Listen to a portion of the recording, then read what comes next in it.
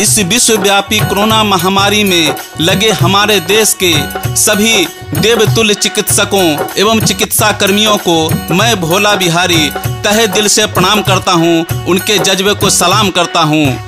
किंतु जैसा कि हम सब जानते हैं, सौ अच्छे लोगों के बीच कुछ बुरे लोग आकर उन सौ लोगों को बदनाम कर देता है। ऐसे ही आजकल निजी एवं सरकारी अस्पतालों के कुछ कर्मियों के द्वारा कोरोना मरीजों एवं उनके परिजनों के साथ जो दुर्व्यवहार किया जाता है, वह अशोभनीय और अमानवीय है।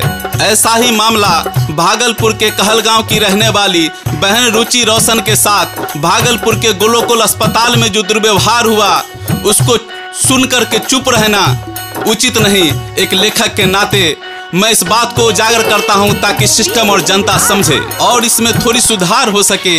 साथ ही मैं बहन रुचि के स्वर्गीय पति एवं कोरोना महामारी में अपनी जान गंवाए सभी मुक्त आत्माओं को सादर श्रद्धांजलि अर्पित करता हूँ। ईश्वर से प्रार्थना करता हूँ कि उनके परिजनों को उनकी कभी कमी न महसूस होने दे।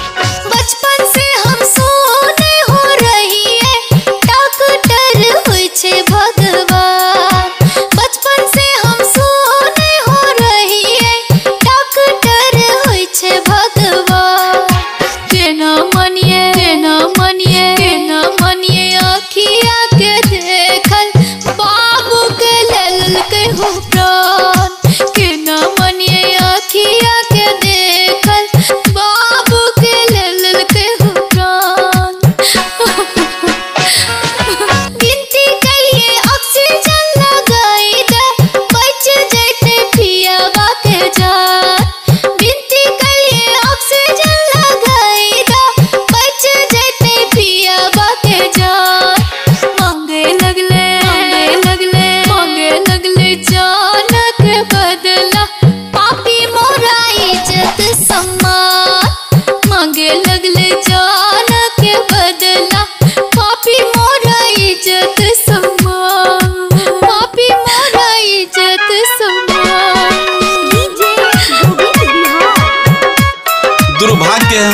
है हमारे देश का, जहाँ चिकित्सकों को देवता समझा जाता है।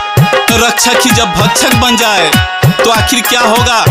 इस सृष्टि का विनाश निश्चित है।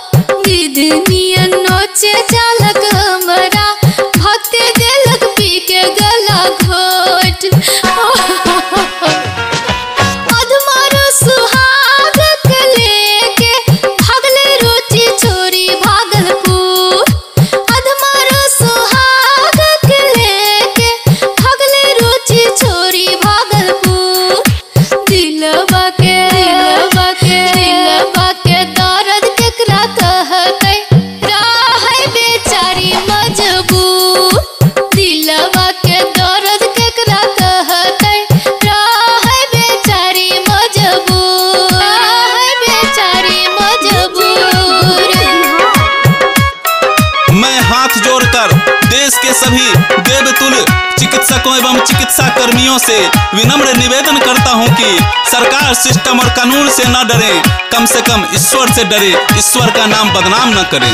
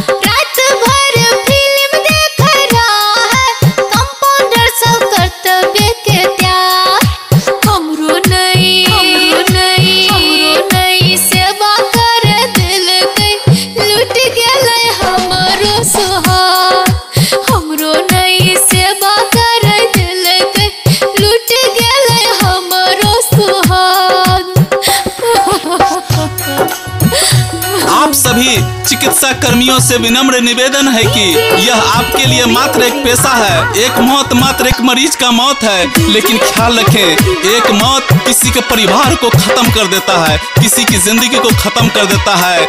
अरे भाई, जन्म और मृत्यु तो ईश्वर के हाथ में है, किंतु आपसे जो हो सकता है, वो ज़रूर करें। पूछे